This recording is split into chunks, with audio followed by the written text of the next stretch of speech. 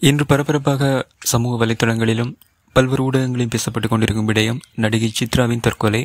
இன்று காலை சமூக வலைத்தளங்களை சாதாரணமாக தட்டி கொண்டு செல்லும்போது இந்த செய்தி என் கண்ணில் மிகவும் மன வருத்தமாக இருந்தது. காரணம் ஒரு மிகவும் ஆக்டிவான மிகவும் ஒரு துடிதுடிப்பான ஒரு நடிகை. எவரையும் மதிக்கக்கூடியவர் எவரையும் சிந்தித்து செயற்படக்கூடியவர் எந்த நேரத்திலும் உறுதுணையாக மற்றவர்கள் இருப்பவர் ரசிகர்களை மதிப்பவர். இப்படி பல்வேறு கோணங்களில் இவரை நாங்கள் வர்ணிக்கலாம். அந்த அளவுக்கு ஒரு சிறந்த நடிகை இன்று தன் உலகை விட்டு பிரிந்திருக்கிறார். மிகவும் சோகமான செய்தி. பல்வேறு ஊடகங்களில் பல்வேறு கருத்துக்கள் வெளிவந்து கொண்டிருக்கின்றன. எந்த கருத்துக்களை நம்பாதீர்கள்? போலீசார் விசாரணை நடத்தி கொண்டிருக்கிறார்கள். எது உண்மை எது பொய் என்று. கிட்டத்தட்ட ஆயிரத்தி தொள்ளாயிரத்தி தொண்ணூற்றி ரெண்டாம் ஆண்டு இவர் வே- மண்ணுலகத்திற்கு பிறந்திருக்கிறார். ஒரு அழகிய தருணம்.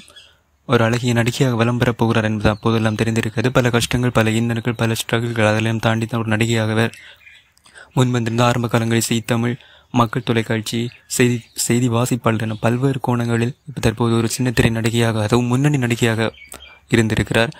கடைசியாக பாண்டிய ஸ்டோர்ஸ் நடிகை அதாவது முல்லை அதாவது முல்லை சித்ரான்னு சொன்னதான் நிறைய பேருக்கு தெரியும். அந்தளவுக்கு அந்த பாண்டிய ஸ்டோர்ஸ் நடிகை பாண்டிய ஸ்டோர்ஸ் சீரியல் வந்து ரொம்ப பிரபல்யமாக வரை கொண்டு சேர்த்திருந்தது. இன்று அந்த வெற்றிடத்தை விட்டுவிட்டு நம்மை விட்டு பிரிந்திருக்கிறார். வதந்திகளை நம்பாதீர்கள். எந்த காரணம் என்பது விரைவில் வெளிவரும். ஆழ்ந்த அனுதாபங்கள் விஜய் சித்திரவர் குடும்பத்தினர்களுக்கும் ஆழ்ந்த அனுதாபங்கள். இன்னும் ஒரு சில மாதங்களில் திருமணம் கூட இடம்பெற இருந்தது அது கூட தற்போது கேள்விக்குறியாகி இருக்கிறது. என்ன காரணம் என்பது இதுவரை புரியவில்லை. காத்திரங்கள் நண்பர்களே வதந்திகளை நம்பாதீர்கள்.